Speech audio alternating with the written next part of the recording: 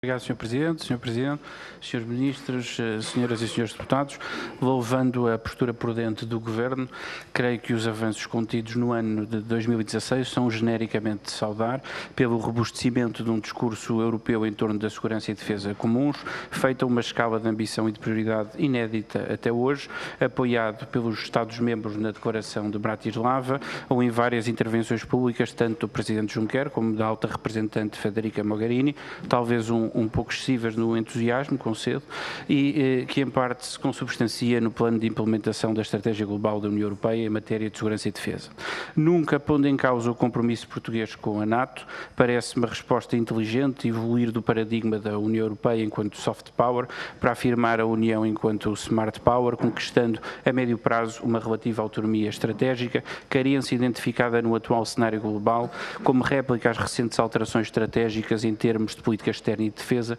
de potências como os Estados Unidos da América, da Rússia ou da China, que em consenso, mas não em uníssono, têm voltado as suas esferas de influência tanto quanto possível para o binómio, para o binómio Ásia-Pacífico. Este esforço conjunto no quadro europeu tem por objetivo proteger e defender o nosso espaço e sentimento democrático e a nossa forma pacífica de vida e de respeito pelos direitos fundamentais, direitos humanos e direito internacional, mas é inegável que precisamos de poder dispor eh, da possibilidade futura de atuar com maior coordenação e eficácia em moldes civis e militares dentro, das foras das, dentro, de, dentro e fora das fronteiras da União Europeia, mesmo, ao mesmo tempo em que o plano de ação no domínio para o domínio da defesa propõe novos instrumentos, pelo menos no papel bastante interessantes para a, para a capacitação e modernização das Forças Armadas dos Estados-membros, perspectivando a possibilidade de economias de escala em termos de aquisição de equipamentos, entre outras oportunidades relevantes. A questão que, colocava, que gostava de colocar aos senhores eh, ministros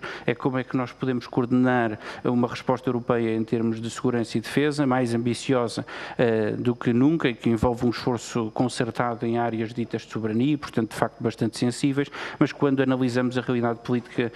europeia a nível nacional e encontramos algumas ou muitas incertezas e muitos receios espalhados justamente pelo crescimento bastante mais enraizado do que no passado dos eleitorados de extrema-direita nacionalista, chauvinista e até uh, anti-europeia e noutros cenários políticos um crescimento generalizado do euroceticismo e de outras formas genéricas de populismo. Obrigado.